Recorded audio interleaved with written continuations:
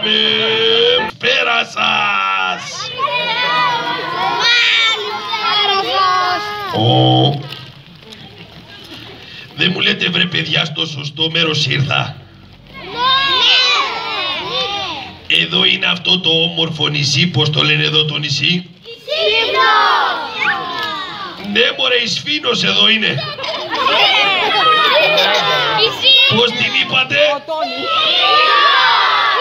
Ναι μωρέ, τι λέω. Η Σύφνος εδώ είναι.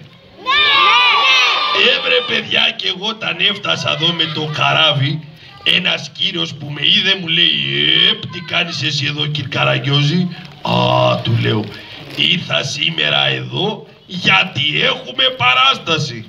Ξέρεις μου λέει, εδώ που ήρθες όλα τα παιδάκια είναι πάρα πολύ έξυπνα.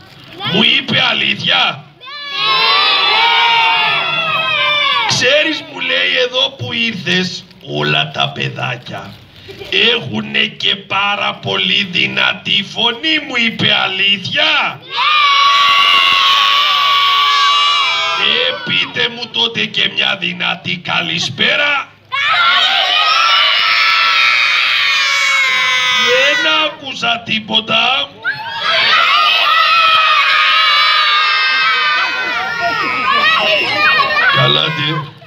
Τι να τα είπαμε εσείς με ξεκουφάνατε. Πω πω μου έφυγε τα αυτάκι με αυτό που ζουκοκέφαλο και πήγε κάτω στο ποδάρι.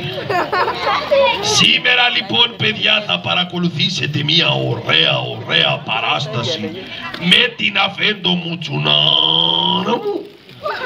Έχουμε να κάνουμε κάτι γέλια. Θα ξεποδαριαστούμε στα γέλια σήμερα. Όχι παιδιά κάποιος έρχεται. Πάω να φύγω. Αλλά πριν φύγω θα σας χαιρετήσω ευρωπαϊκός. Good night.